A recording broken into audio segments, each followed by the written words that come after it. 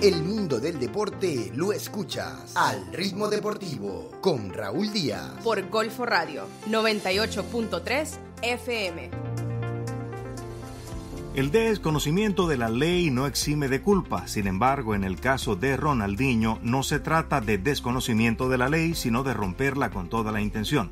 Esta afirmación tiene fundamento desde el momento en el cual cualquier persona decide involucrarse con conocimiento de causa en la fabricación de un pasaporte express de otra nacionalidad, y eso es una violación no solo a la ley, sino a la moral. Ronaldinho tal vez pensó que estaba actuando con viveza al encontrar el modo de realizar negocios de una manera cómoda obteniendo el pasaporte paraguayo y eso es imperdonable en términos morales, según aseguró la Fiscalía.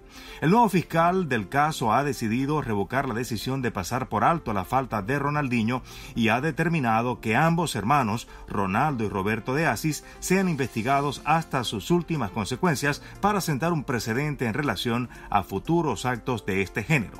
Al ritmo deportivo. Continuamos con motores porque uno de los organismos más serios que existen en el ámbito deportivo es la FIA, Federación Internacional de Automovilismo.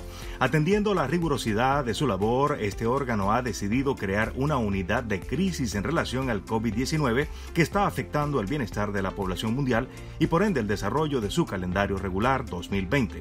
Por tal motivo, en la reciente reunión de Ginebra, la Comisión Médica del organismo decidió que esta unidad se reúna cada dos días para evaluar la situación particular particular de cada piloto, de cada escudería y en general de cada categoría para adelantarse a cualquier contingencia propia de un problema como el actual.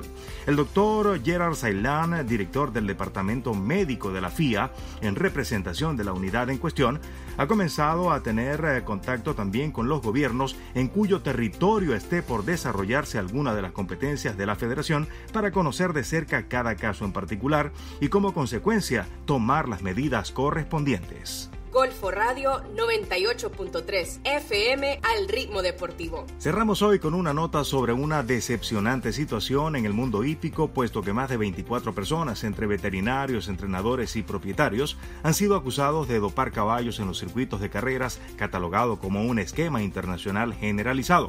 El fiscal norteamericano Geoffrey Berman ha programado una conferencia de prensa para dar a conocer detalles del caso, como por ejemplo número de personas involucradas, esquema utilizado, y supuestos circuitos donde se realizaron los fraudes. Los fiscales del caso indicaron que las carreras de caballos son una actividad mil millonaria seguida por millones de fanáticos en todo el mundo y he allí el porqué de la gravedad del asunto. Las autoridades agregaron que los involucrados en el fraude engañaron a las agencias gubernamentales y de aduana de los países donde se efectuaron las carreras.